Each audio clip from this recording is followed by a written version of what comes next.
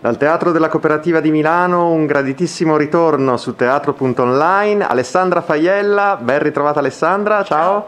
E Valerio Buongiorno, ciao Valerio. Ciao.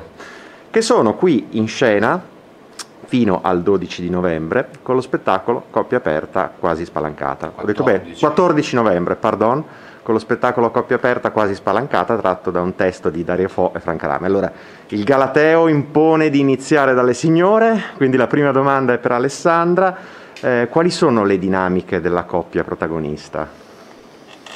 Beh, sono, sono le dinamiche eterne del, del rapporto tra una donna tradita e un uomo che ripetutamente la tradisce ma che nel momento in cui eh, lei finalmente riesce a liberarsi, a lasciarlo e a trovare un'altra relazione, lui va fuori di testa.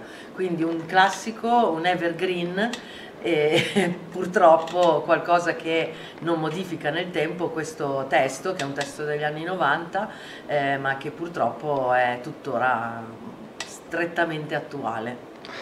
Ecco Valerio, quali sono le caratteristiche del tuo personaggio?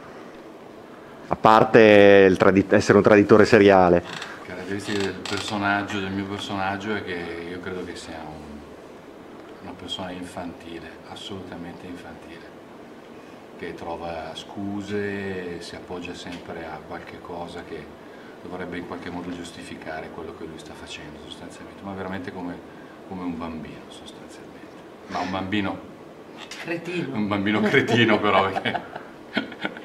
I bambini, a volte sono molto esatto. molto meglio degli adulti naturalmente, sanno meno fingere, giocano magari, però nel gioco sono anche molto più veri.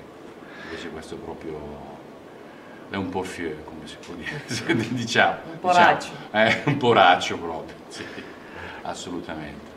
Alessandra, ti hanno definito una delle regine, una delle regine del far ridere facendo pensare. Quanto ti fa piacere questa definizione? Che cosa ti piace, che cosa invece non ti piace del tuo personaggio? Ma eh, il mio personaggio mi piace, mi piace, è un personaggio forte, è una donna inizialmente vittima di, questi, di questa manipolazione, perché poi questo tipo di di, di, uomo è un grande manipolatore, un grande narcisista che, ehm, che, in qualche modo continuamente inganna, mente per ottenere i suoi scopi. Eh, però sebbene questa donna, Antonia, la protagonista, sia inizialmente vittima di queste manipolazioni, a un certo punto finalmente riesce a, a liberarsi eh, da questo gioco psicologico e a ribellarsi e lo fa fino in fondo. E quindi secondo me è un grande messaggio per tutte le donne che eh, vorrebbero liberarsi da questi, da questi, soggetti, non ci riescono e questo spettacolo in qualche modo può essere un incoraggiamento ad avere il coraggio di prendere in mano la propria vita, quindi devo dire è un personaggio che, che mi piace, non, eh, era il personaggio che faceva Franca Rame mm. e, e non a caso lei l'ha scelto per tanti motivi, probabilmente l'ha scritto soprattutto lei e quindi insomma eh, per me è anche un onore interpretare un personaggio che è stato interpretato da una grande attrice, da una grande donna. Qualcosa che invece non ti piace del tuo personaggio? Mm, ma potrei dire che non mi piace il fatto che per tanto tempo è rimasta invischiata in questa storia, per come sono fatta io avrei troncato molto prima, però eh, vabbè siamo tutti diversi quindi non c'è nessun giudizio, eh, Giu giustamente è un personaggio anche diverso da me e per un'attrice è anche una sfida interpretare personaggi che non aderiscono completamente alla propria personalità. Nella sua diversità ammiro comunque questa presa di posizione, magari tardiva, ma che comunque arriva.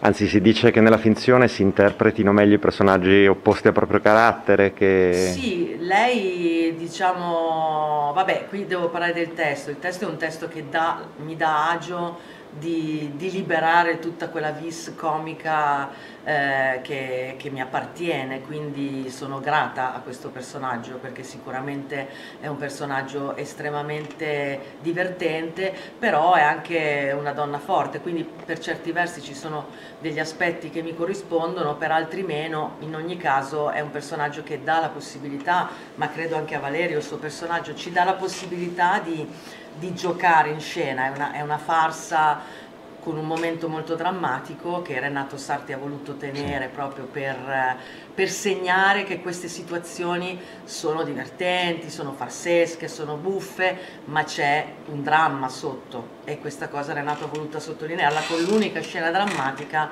che però è molto esemplificativa di qualcosa che può andare oltre. Siamo in chiusura dell'intervista, volete invitare il pubblico a venire a vedere lo spettacolo? Domanda no, di rito no, finale? No, stare a casa. certo. Ma noi ci divertiamo esatto. e questo è importante perché credo che riusciamo anche a divertire il pubblico essendo comunque uno spettacolo che come diceva prima Alessandra un po' fa parte anche del suo percorso di, di attrice, di artista, eh, fa anche pensare, questa è una cosa molto bella, riuscire a, a divertirsi però dicendo anche delle cose importanti e a volte anche molto molto scomode, scomode. E per certi versi anche forse tragiche per certi versi.